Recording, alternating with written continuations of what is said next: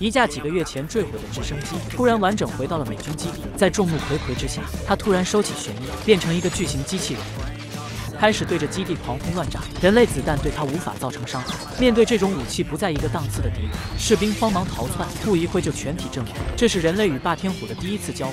相传很久以前，在宇宙中诞生了一个火种魔方，它拥有创造生命的能力，并建造了一个名为赛博坦的机械星球。但星球上的一场大战让赛博坦被摧毁的所剩无几。机器人们为了找到魔方重建家园，根据线索来到了地球。男主山姆刚刚从他爸那获得了人生中的第一辆车，一辆破旧的科迈罗，便迫不及待。开出去撩妹，在路上，他主动将自己的女神金姐接上了车，并表示可以送她回家。但一路上就车问题百出，先是自动播放浪漫的音乐，然后故意熄火，开到一半停了下来。山姆愤怒地踹了两脚，金姐看了一眼，打算步行回家。车里的山姆心急如焚，怎么点火都无济于事。看着远去的金姐，山姆急了，赶紧变换了态度。于是汽车又重新启动，让山姆顺利将金姐送到了家。夜晚，山姆发现自己的爱车突然跑路了，以为是某个偷车贼，赶紧追了上去。路上顺便报了个警，他来到了一个工地上。接下来的一幕让他目瞪口呆。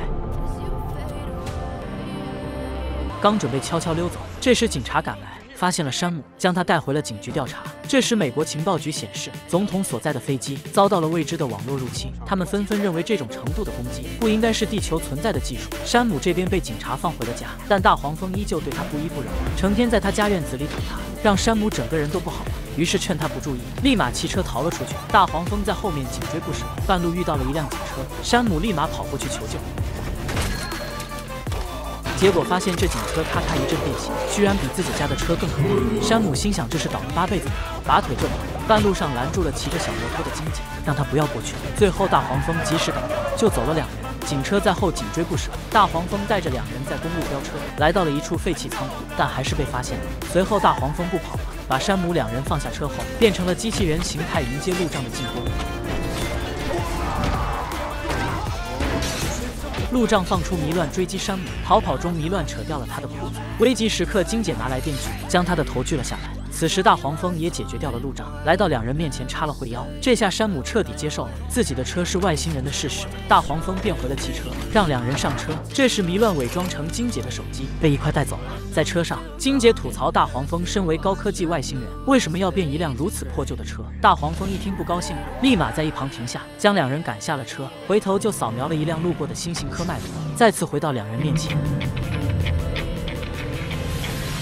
这时，他的几位同伴也从天而降。山姆最近买了辆二手车，想在自己女神面前威风一下，但没想到二手车变成了机器人，还带来了一群汽车同伴，让青春期的山姆开始躁动不安。他们纷纷在山姆面前变身，带头的向山姆介绍自己，说自己叫擎天柱，是汽车人的首领，然后介绍了身边的战友：副官爵士、武器库铁皮、医护专家救护车，还有一直守护山姆的大黄蜂。擎天柱简单的向山姆表明了来意，介绍了他们遥远的赛博坦星球，以及汽车人和霸天虎的恩恩。怨怨，霸天虎的首领威震天为了追踪火种魔方来到了地球，但在拿到魔方之前就意外坠落在了北极。山姆的曾爷爷意外发现了他，无意间启动了巡航系统，于是魔方所在的地点被刻在了他的眼镜上。擎天柱还告诉山姆，如果让威震天抢先一步找到魔方，地球将会迎来万劫不复的灾难。得知知一切的山姆赶紧回到家找到眼镜，汽车人们也跟了过来，悄悄躲在山姆家院子里。刚找到眼镜，门外突然来了一群黑衣人，自称是来调查外星人事件的。他们怀疑山姆和外星人。有勾结，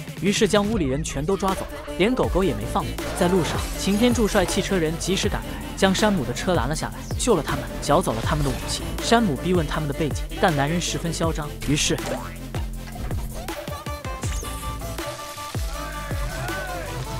但没想到对方悄悄呼叫了支援，不一会就赶了过来，汽车人全体变形。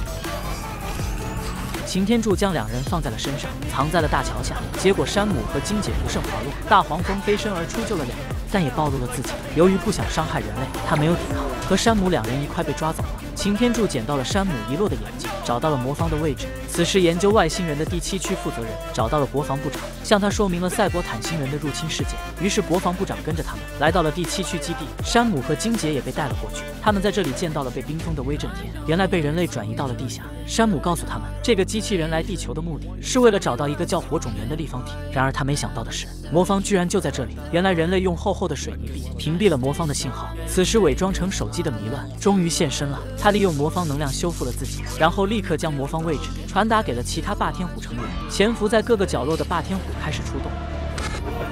众人正在见识魔方的力量。率先到达基地的红蜘蛛立刻发射了导弹，摧毁了基地的发电设备。迷乱趁机溜进了控制室，解除了威震天的冷冻系统。威震天开始慢慢解冻。面对严峻的局势，山姆和上校说服了第七区的指挥官，释放了大黄蜂。在大黄蜂的拨弄下，巨大的魔方缩成了一个小魔方。上校建议将魔方转移到城市中，而这时威震天已经彻底活了过来，变成飞机冲出了基地。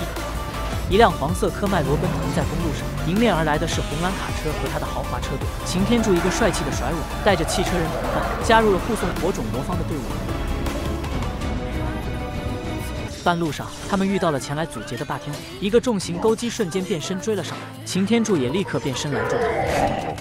两个巨型机器人摔下了高架桥，立刻扭打在了一起。擎天柱不愧是汽车人领袖，利刃出鞘，很快干掉了他。车队来到了室内，上校呼叫空中支援，结果前来的却是变成战斗机的红蜘蛛。红蜘蛛对地面发起了导弹攻击，巨大的爆炸炸掉了大黄蜂的头。随后，重型坦克霸天虎赶来，持续向他们开炮。还好汽车人及时赶到，铁皮飞身翻过美女头顶，射出导弹重创了霸天虎。随后被汽车人联手打倒。但威震天一登场，战况又变得严峻起来。身材矮小的爵士被他撕成了两半。上校将信号弹和魔方交给了山姆，随后军队和汽车人共同护送他去对面建筑的楼顶。擎天柱赶了过来，立刻就与威震天展开了决斗。两人开启远程火炮对射。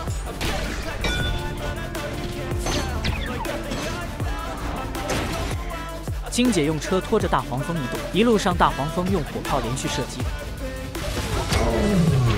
干掉了一个霸天虎，铁皮和救护车护送着山姆，途中遭受到了红蜘蛛的攻击，身受重创。山姆被霸天虎追着一路跑到了楼顶，点燃了信号弹。然而就在准备交付魔方的时候，一发导弹袭来，击毁了直升机，然后一锤将山姆砸向了地面。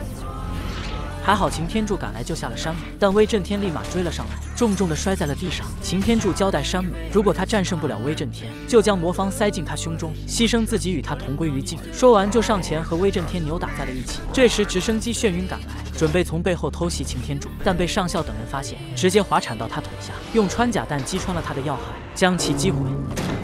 擎天柱难以招架，空军飞机赶来支援，在天上被红蜘蛛给牵制住，但还是找机会重创了威震天。威震天发现了山姆，危急时刻，山姆背叛了擎天柱，将魔方放进了威震天的胸膛。威震天承受不了火种的力量，和魔方一起被摧毁了。擎天柱取走了他体内残留的火种碎片。最后，大黄蜂决定陪伴在山姆身边。威震天的尸体被人类扔进了海洋。人类与霸天虎的战争还没有结束，影片到此就结束了，下次见。